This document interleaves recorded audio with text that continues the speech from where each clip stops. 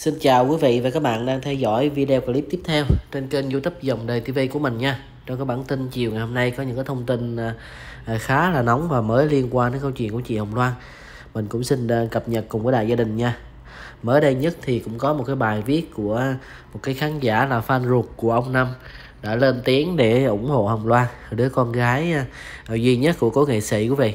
Sau đây mình cũng xin chia sẻ cái bài viết này cho quý vị xem nha. Tôi là người tham gia drama này.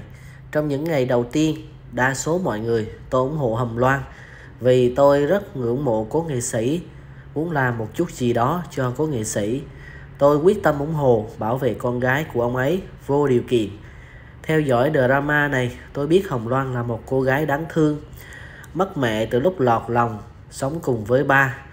Nhưng nghiệp cầm ca, sự nặng gánh của gia đình, anh em dòng họ đã chia sẻ tình thương người ba của mình. Ba thường xuyên đi hát vắng nhà.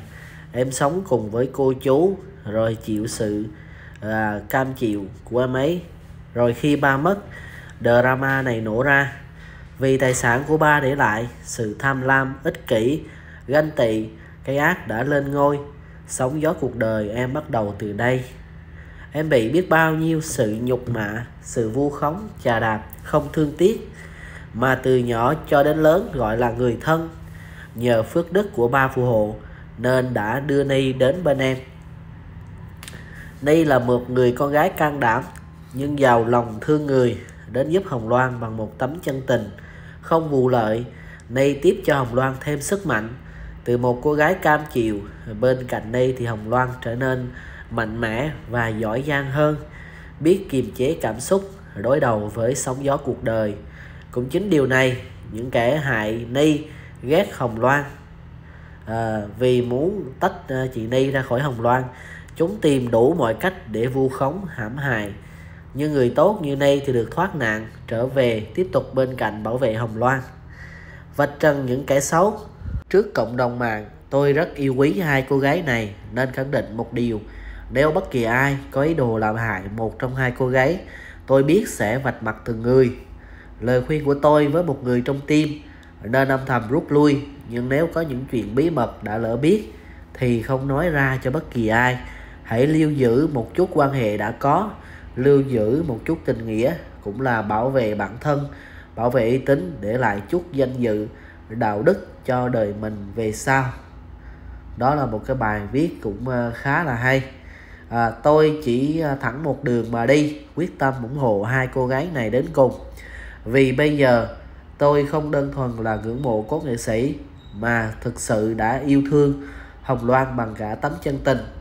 Và một cô gái đáng để tôi ngưỡng mộ đó là chị Ni. Đó một cái bài viết khá là hay để lớn nói lên cái nỗi lòng mà à, một cái à, vị khán giả đã luôn yêu mến và ủng hộ Hồng Loan cho đến chị Ni cho đến thời điểm bây giờ một cái bài viết ờ, khá là hay và cảm động, đúng không quý vị? Đó là họ luôn ờ, gọi như là một cái đường thẳng mà đi, luôn ủng hộ và bảo vệ con gái của ông Năm cho đến cùng. Một cái động thái ờ, khá là mới của cái thằng tím hề sau khi mà nó đã được mời lên uống trà thì bây giờ nó đã coi như là thành tím tái rồi mọi người.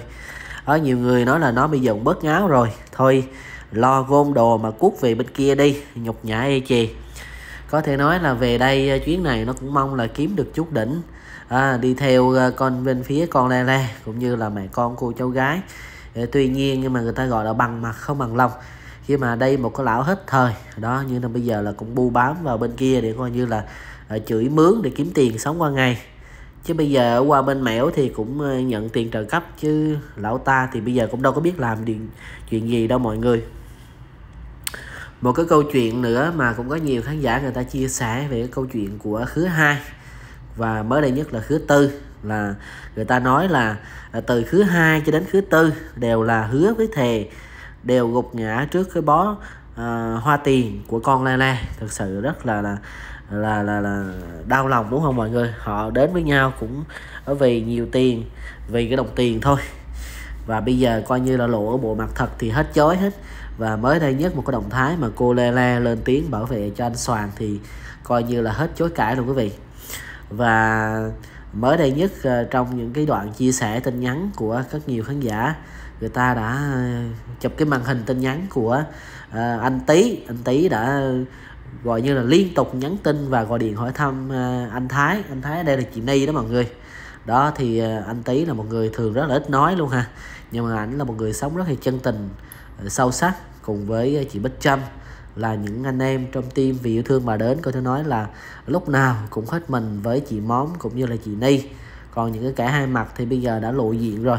Coi như là sau ờ, cái sự cố của anh Soàn này thì sẽ không còn bất cứ một ai người ta gọi là sẽ quay xe, quay lưng với bên phía Hồng Loan nữa.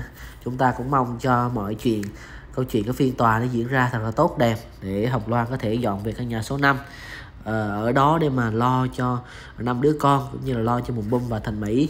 Còn ờ, những cái kẻ mà vô gia cư, những cái kẻ mà đòi nhà cho ở nhờ thì tụi nó phải nhận một cái kết đắng quý vị đó. Mới đây nhất ở trên trang cá nhân của anh Linh Tý thì anh cũng có một cái dòng trạng thái khá là dễ thương ha. Ở Linh Tý thì ảnh ờ, cái tính ảnh cũng khá là vui, ảnh hay cà khịa đó mọi người bà Ni đưa cái tin nhắn tôi lên làm tôi mắc cỡ quá. Thấy sến súa dễ sợ. Những cái comment yêu thương của mọi người càng làm à, tí xúc động hơn. Nhưng tí và trâm chỉ là một phần nhỏ trong drama này. À, có giúp món thì cũng chỉ là một phần nhỏ. Được mọi người yêu thương là một món quà. Theo tí nghĩ drama này nếu món phải cúi đầu cảm ơn thậm chí quỳ xuống thì chỉ có hai người đó là má má tư quốc thanh và chị ni thôi chính xác là như vậy quý vị.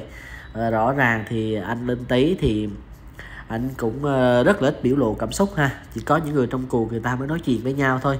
Đó là những cái tin nhắn mà chị nay chia sẻ những cái khoảnh khắc mà anh ờ, Tý tí nhắn tin mỗi ngày luôn hỏi thăm là chị đây có ổn hay không.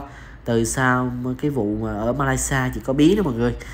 Có thể nói là sau cái vụ việc đó thì chị đây đã hiểu được những người trong team ai là người thật lòng và những ai là những kẻ là trục lợi tham gia drama này quý vị. Đó nhiều người cũng ờ, thả tim và à, tôi nói là rất là là, là ờ, yêu mến cái hành động của Alan Tý và có thể nói là uh, trở về chuyến này thì chuyện đây của chúng ta có vẻ điềm đạm hơn ít nói hơn nói ít làm nhiều. Đó thì bây giờ chị cũng rất là ít phát ngôn trên mạng xã hội. Uh, chỉ có những cái vấn đề của anh Soàn thì khiến cho chị đây cảm thấy thất vọng và chỉ viết một vài câu lên thôi thế là mọi người cũng đã đủ hiểu ha.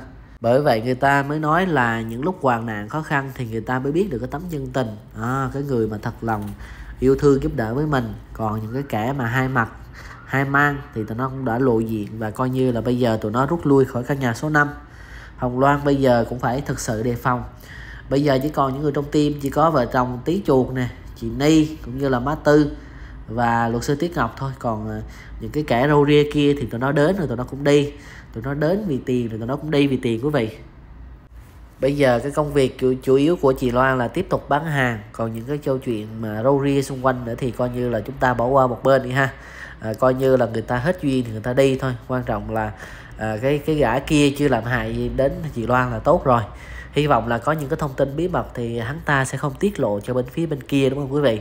Chứ những cái kẻ mà đi hai hàng à, sống hai mặt như này thì nhiều người cũng phải ờ, rất là ghê sợ. Đó phải cần đề phòng hết sức nha. Cái bản tin ờ, buổi chiều ngày hôm nay của dòng đời TV đến đây xin được tạm dừng nha. Để có cái tin tức gì mới liên quan đến chuyện này và chị Hồng Loan thì mình sẽ lên video ngay lập tức. À, xin chào và hẹn quý vị ở các video tiếp theo.